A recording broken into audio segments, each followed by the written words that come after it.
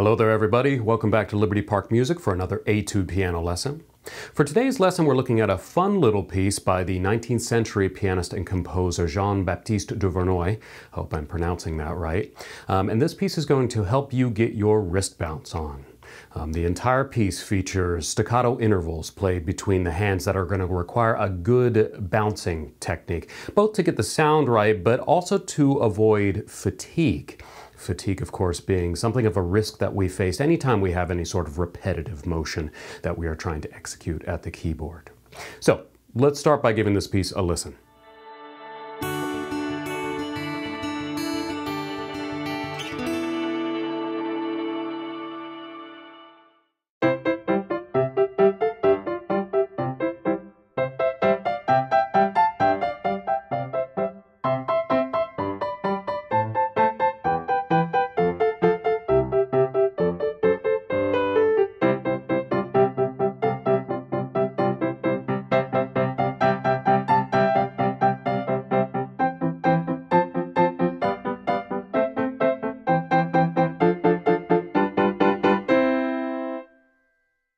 Now, playing these intervals is not so different from playing single staccato notes in terms of the motion involved, but there is a little bit more to think about and practice regarding the balance of the hand in performing that motion.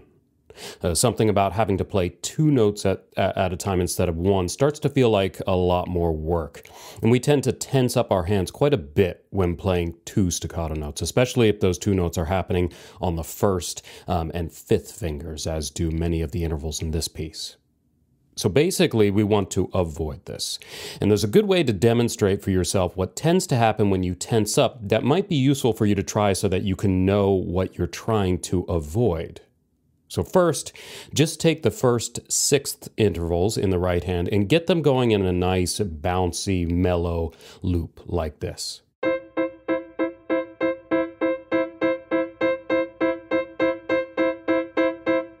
You can see that my hand is still staying nice and close to the keyboard and is uh, well centered over the keys, but that it's otherwise quite loose and bouncy. Now at this point, I'm feeling no tension. I'm playing at a speed at which I'm not feeling like I have to tense any muscles to achieve the motion. What I'm going to do is to steadily speed up until I can feel that I'm having to exert some muscular effort to sustain the bounce.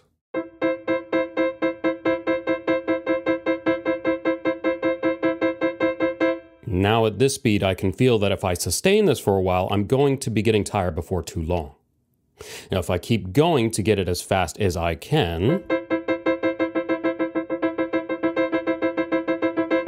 At this point, I can tell that I'll definitely be getting tired soon, and I can already start to feel the tension taking its toll on my hand muscles and tendons.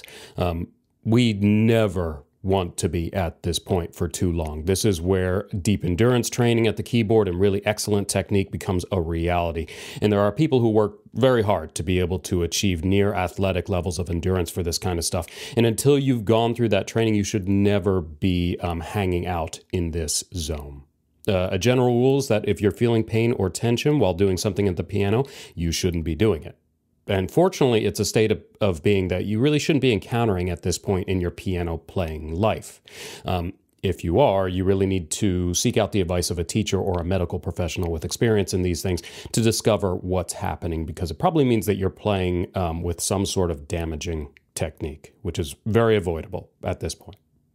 So, to recap, um, play the first six starting slowly, speed up until you can start to feel some tension, and then speed up until you're going as fast as you can, um, just for a moment, mind you.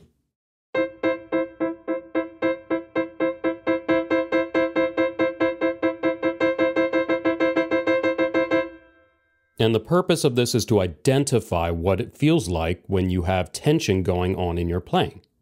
And once again, um, what we want is to avoid that spot. So when you're playing this piece or any piece that uses lots of um, staccato or even not staccato repetitive harmonic intervals like this, we want to aim for this feeling, not this one. Thanks for watching this lesson from Liberty Park Music. If you enjoyed this lesson and learned something from it, do us a favor, hit that like button. And if you really liked it, share it around. Let your friends and family check it out too. If you want to find more lessons like this or explore other piano related topics, please come visit us at libertyparkmusic.com. We have full piano courses ranging from beginner to more advanced levels, and everything is online and streaming 24 7 so that you can design your music learning around your schedule and learn in the comfort of your own home from a talented roster of professional teachers and musicians. Come check us out.